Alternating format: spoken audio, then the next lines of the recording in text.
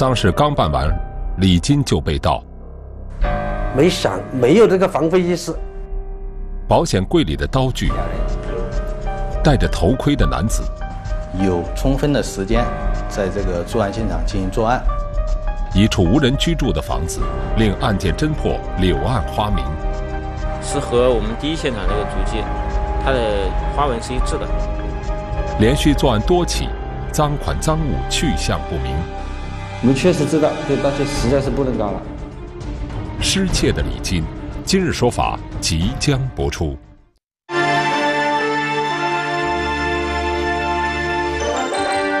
二零二二年十一月三十日，在湖北省荆州市公安县的一个乡镇上，发生了一件令当地群众十分气愤的案件。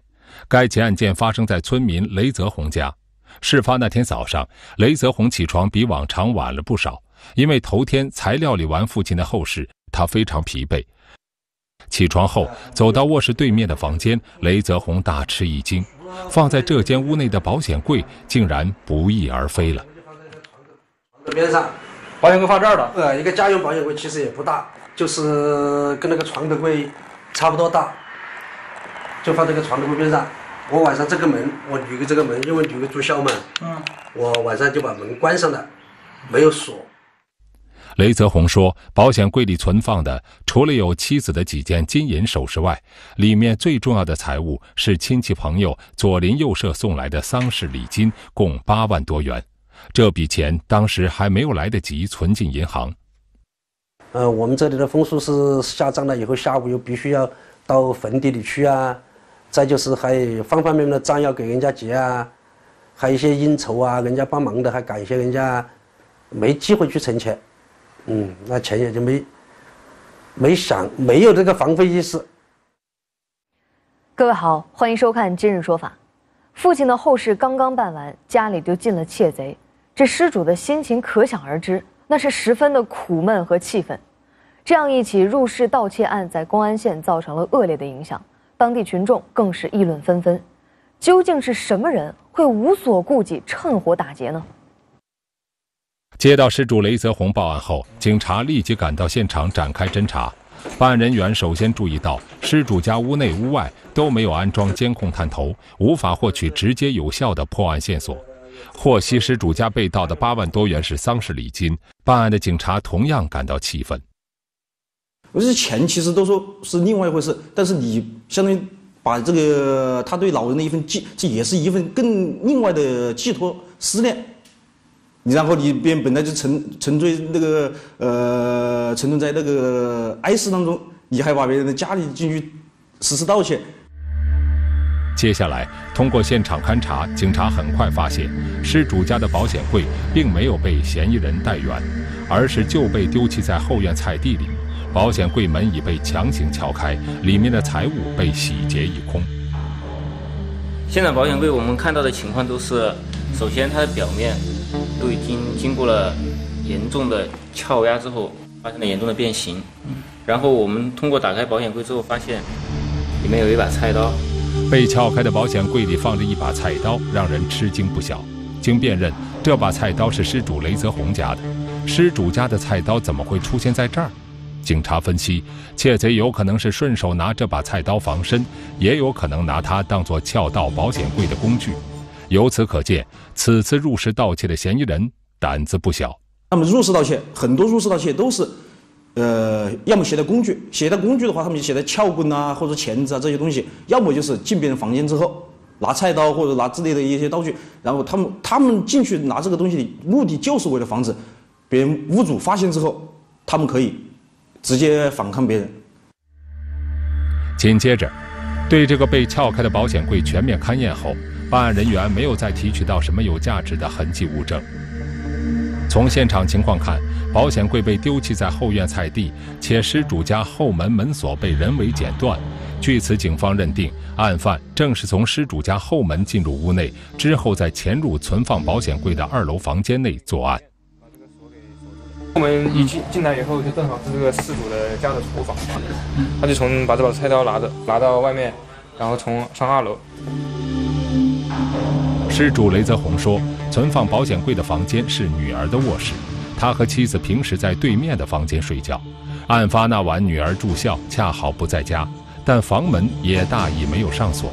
警察认为，既然窃贼对失主家的房屋结构、保险柜存放的位置都比较清楚，肯定是提前进行了踩点。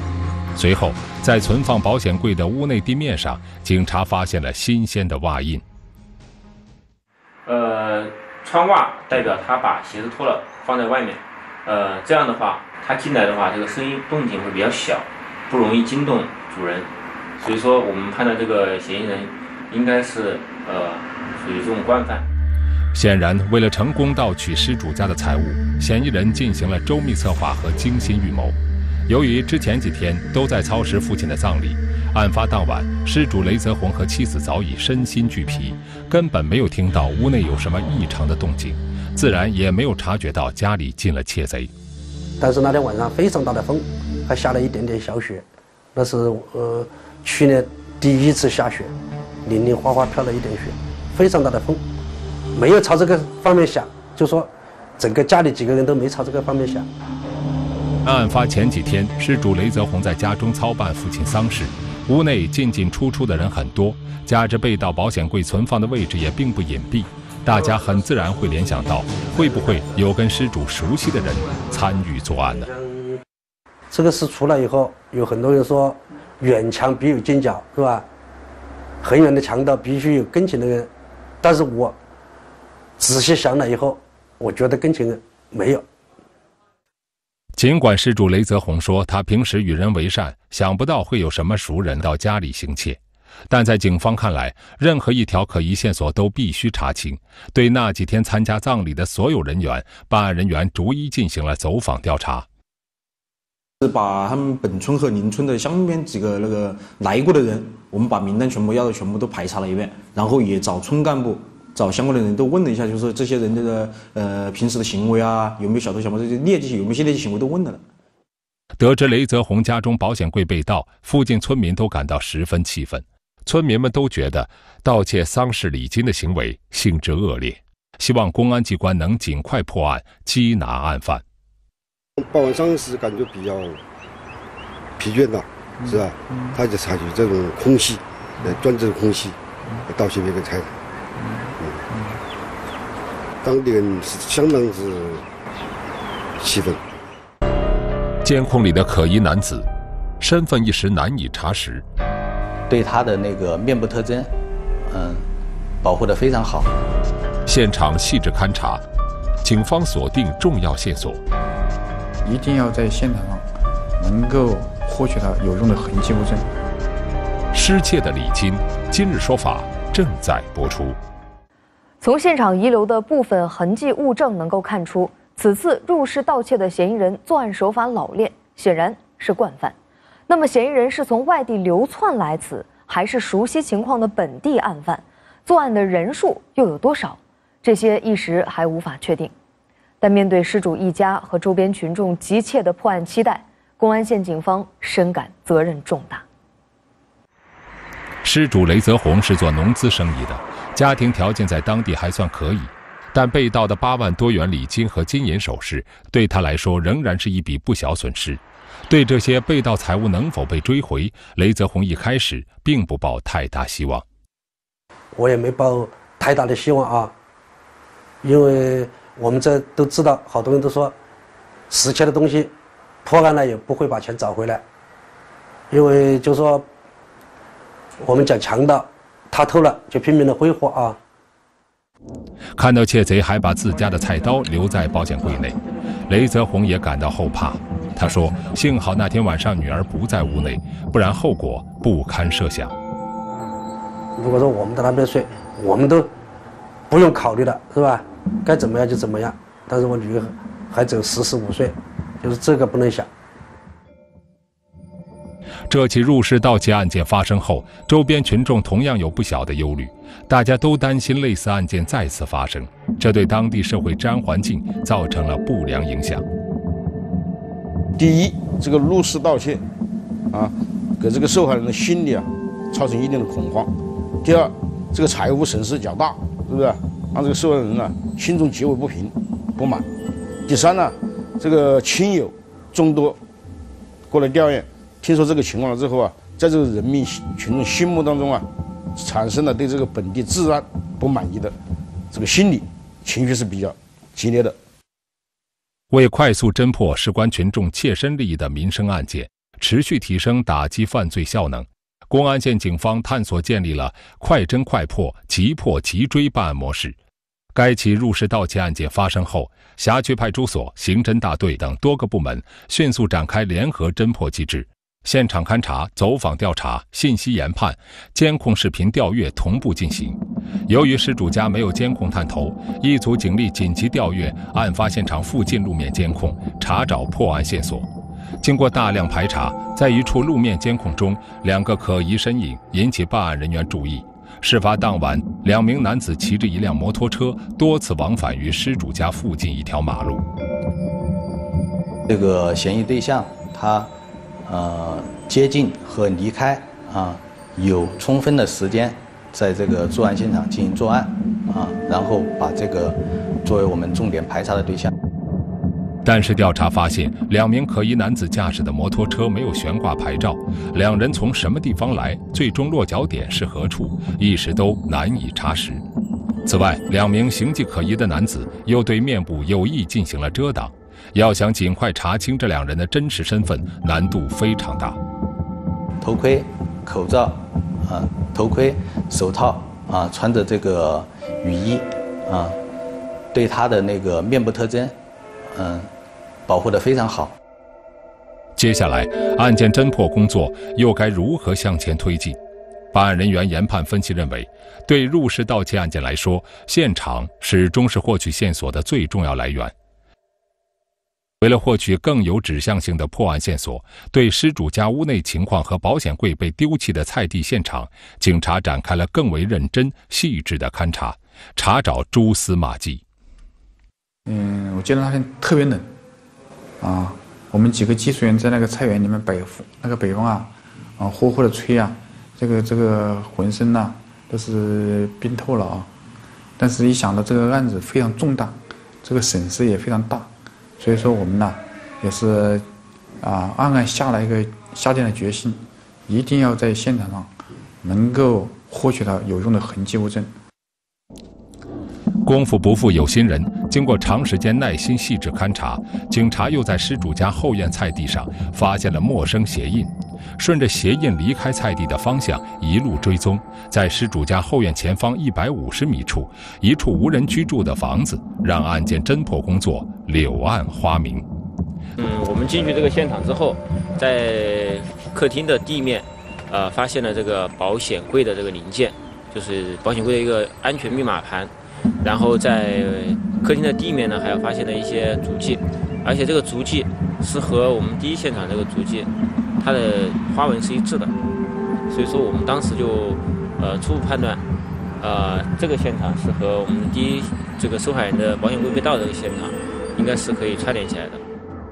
从地理位置看，警方认为嫌疑人在作案前应该就藏身在这所无人居住的房子，暗中观察失主家的一举一动。而在作案得手后，嫌疑人曾再次回到这里。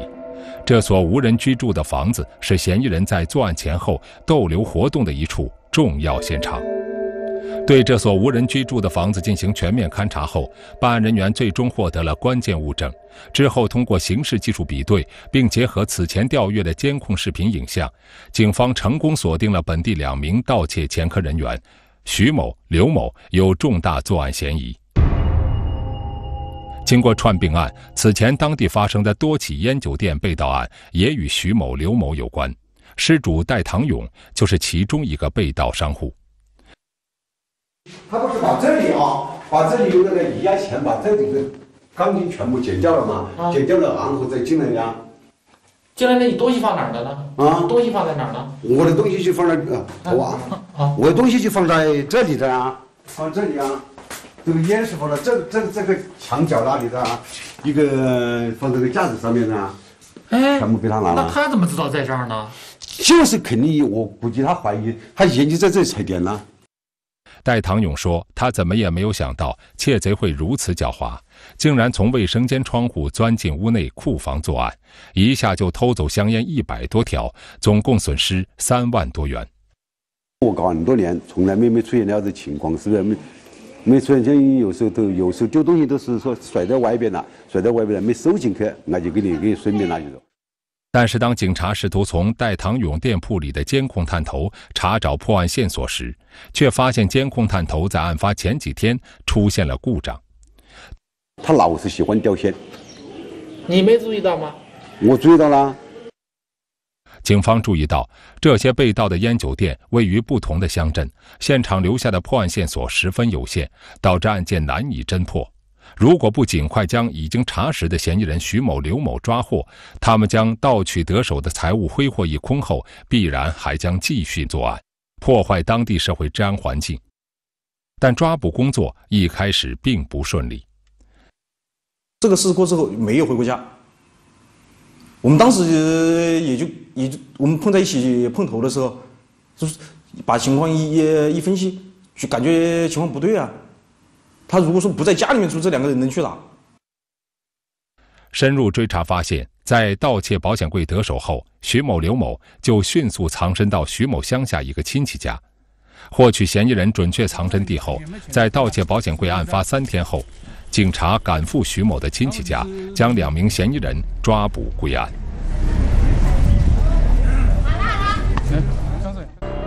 肆无忌惮，嫌疑人三次潜入失主家中。进去以后，他就把就是一看呐，说没有东西，么子都没得。案件告破，部分失窃财物却不见踪影。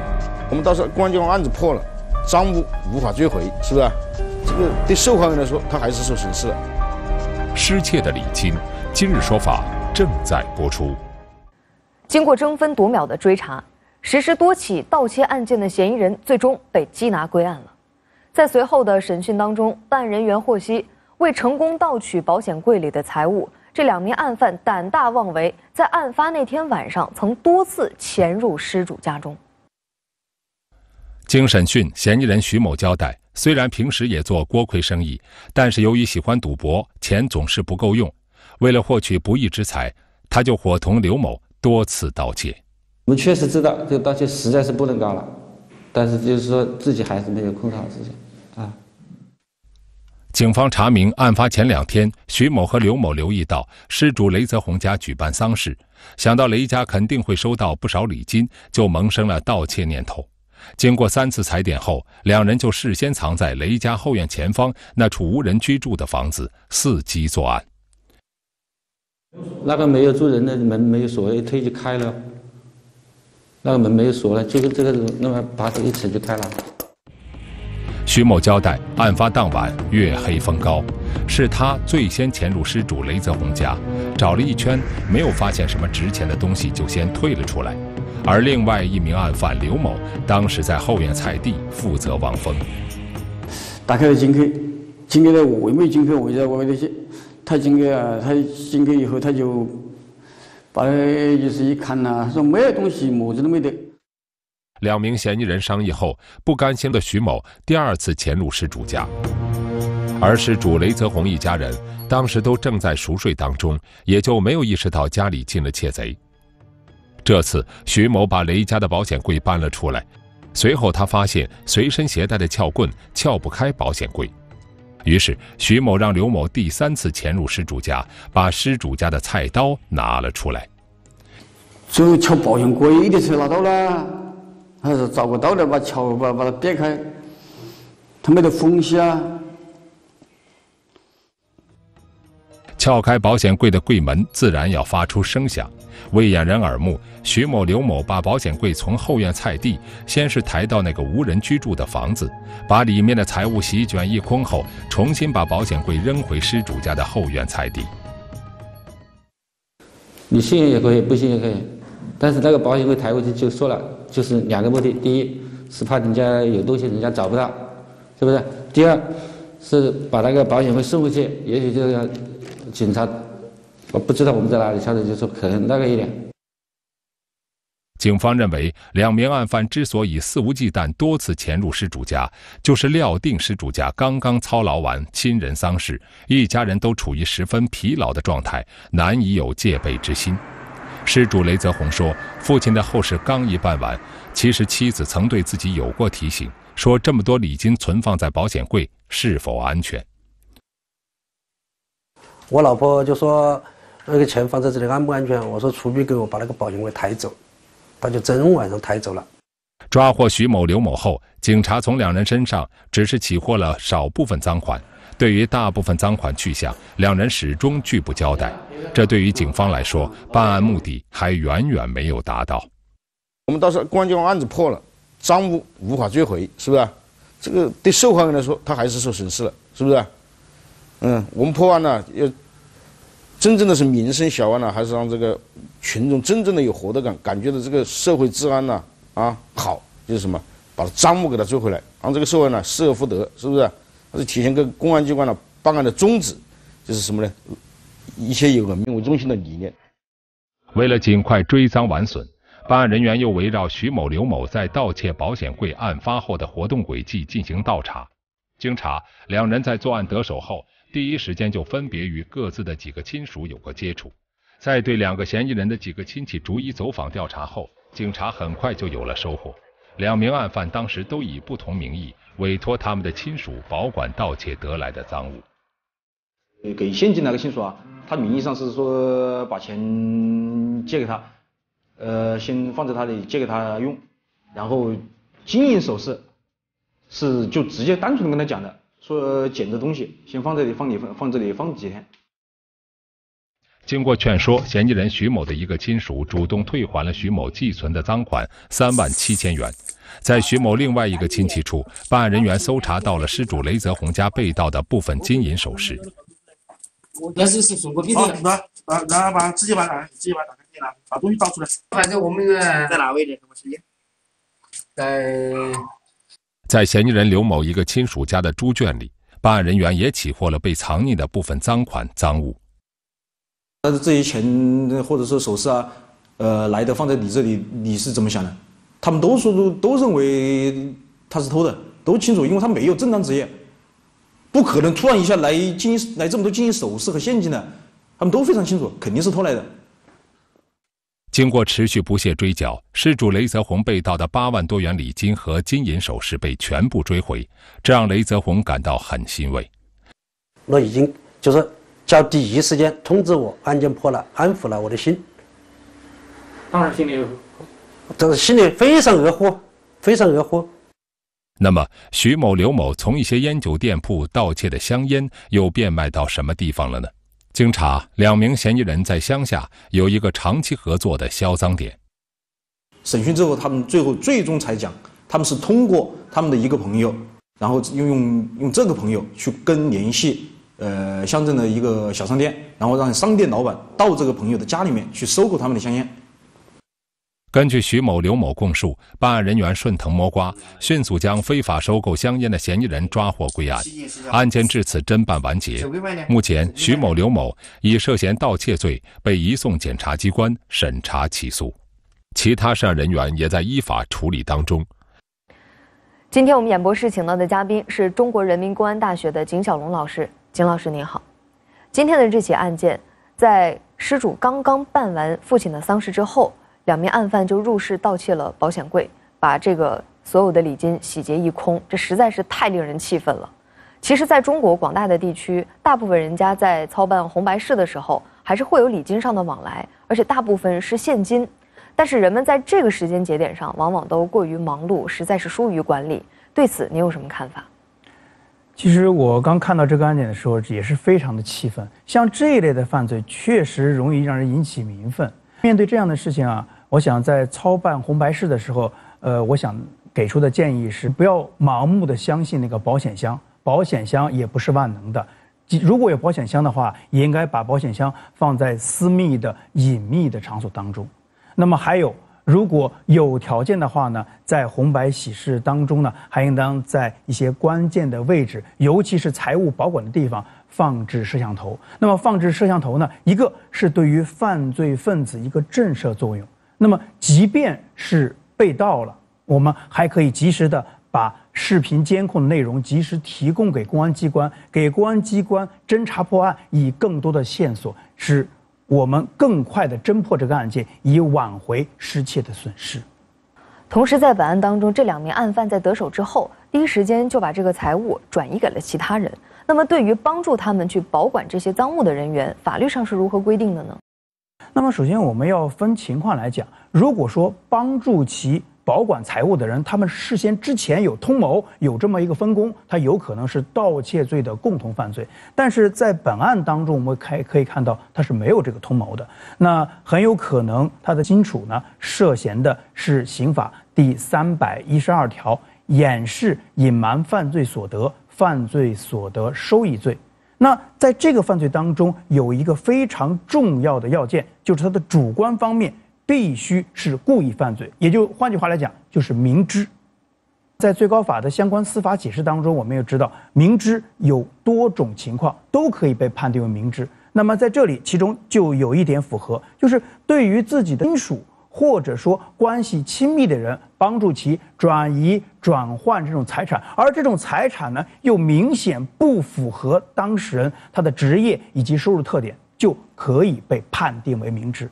我们还注意到，在被抓获之前，这两名案犯其实已经实施多起盗窃了，比如说偷香烟之类的，这也暴露了一些在偏远的农村地区还是有很多治安的薄弱环节。那么对此，你有哪些建议？在偏远的农村，这种盗窃犯罪呢是时有发生的。对于这类犯罪呢，至少我们应当注意这么两个方面。首先呢，还是加强普法教育宣传，通过法律进社区、进农村这种活动，向广大的社会公众去介绍农村当中常见的。盗窃犯罪这种侵财类犯罪的常见的手段，来提醒村民们到自己家去自查有哪些安全的隐患，及时的去查漏补缺。那么第二点，我想呢，对于农村这种特殊的环境来讲，我们要加强人防、物防和技防共同筑牢安全的防线。在今天的节目中，嫌疑人盗取丧葬礼金的行为，既有被传统礼仪道德，也必然会受到法律的制裁。